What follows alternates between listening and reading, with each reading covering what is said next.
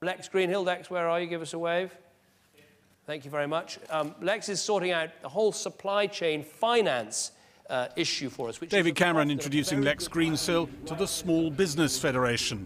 One of quite a few introductions he would come to do on Mr Greensill's behalf. A select committee inquiry has been announced tonight into the Lex Greensill affair, but Tories on the committee want to keep it quick and low key. They may not summon Mr Greensill or David Cameron public sector, private sector. And following revelations that Bill Crothers worked in a senior role in Whitehall while also working for Greensill, the Cabinet Secretary has ordered that all civil servants must declare any secondary paid jobs they've got outside Whitehall by the end of the week. Over time, the Greensill saga could reveal much about Whitehall its lack of checks, its gullibility, or worse. But today, the Labour leader was focusing his attack on the government reviving attack lines Labour deployed successfully in the 1990s, accusing the Tories of being the party of sleaze, in politics just for themselves. Lines Labour hopes will help to pull back defectors to the Tories. Does the Prime Minister accept there's a revolving door, indeed an open door, between his Conservative government and paid lobbyists? Talk about lobbying, Mr. Speaker. He's being advised uh, by Lord Mandelson of Global Counsel Limited. Uh, perhaps in the interests of full transparency, so we can know uh, where he's coming from, Lord Mandelson could be encouraged uh, to disclose his other clients, Mr. Speaker. Keir Starmer. Mr. Speaker, I haven't heard a defence that ridiculous since my last days in the Crown Court. It's, it's called the shoplifter's defence. Everyone else is nicking stuff, so why can't I? The Greensill scandal is just the tip of the iceberg. Dodgy contracts, privileged access, jobs for their mates. This is the return of Tory sleaze. We're getting on with protecting the public of this country from crime of all kinds. Uh, we're getting on with the job of running this country, of rolling out a vaccination programme. Oh, oh, oh, order. Prime Minister, I think we ought to at least try and address the question. Lex Greensill, Lex, where are you? Give us a wave. Some much. Tory MPs said David Cameron's reputation had taken a big hit. The one thing that, that David Cameron will be concerned about more than anything else is the damage to his reputation uh, that's been done by this episode. And frankly, that will be with him for a very long time. It is no doubt a tasteless, slapdash, and unbecoming episode for any former Prime Minister. This saga has revived the lobbying issue, which has dogged politics for years.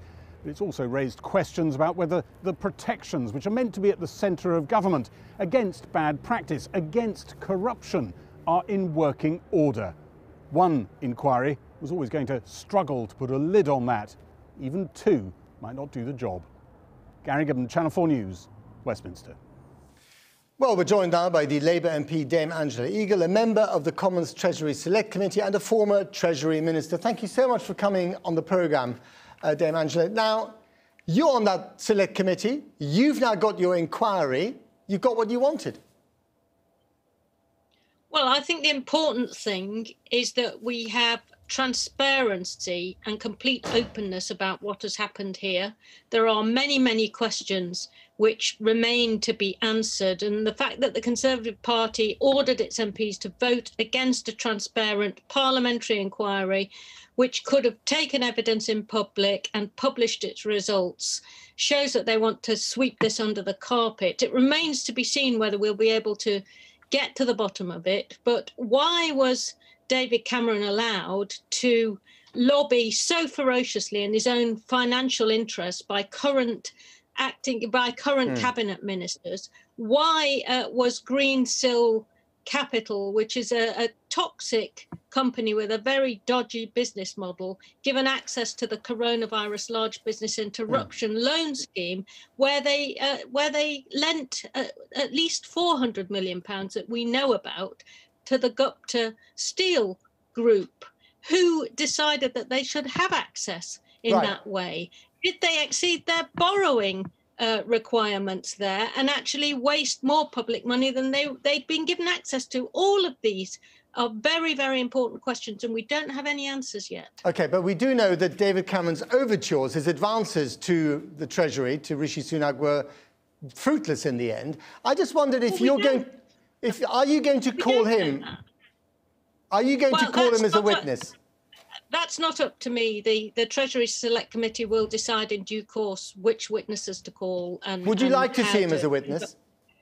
me personally, I, I think he needs to account for himself in public, which is why I voted for the Labour Party's uh, motion tonight to have a cross party select committee look at this particularly. Uh, but that has been defeated by the Tory majority in the House of Commons because they want to sweep it under the carpet. I think there are other questions we need to ask. Why, for example, Bill uh, Crothers, who was responsible for 40 billion pounds of public procurement, why on this earth was he allowed to work part time for Greensill while he was in the Right. civil service? Absolutely astonishing, completely improper. Okay. Who on earth authorised that? Let me ask you something else. I mean, on a number of issues, like Brexit, for instance, one could argue that the Labour opposition has gone into a witness protection programme. You really haven't been saying an awful lot about these things, including things like the vaccine rollout. Is sleaze, Tory sleaze, now the issue on which you hope to win the hearts and minds of the British public back? I do think that Tory governments tend to end up sleazy. This government's been in power for 11 years.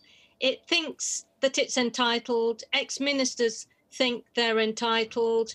We've seen uh, major public appointments given to relatives of ministers without any competition. We've seen at least two billion pounds that we know of of public procurement uh, in the coronavirus pandemic given to companies which donate money directly to the Tory party. No transparency, no competition, absolutely uh, no uh, idea how these decisions were made. It's not good enough. It's got to stop. That is an issue that any opposition worth their salt would be um, concentrating on because it's potential misuse of very, very large amounts of public money for private gain for your mates. Okay. And it's just not acceptable. Angela Eagle, thank you very much indeed for coming on the programme.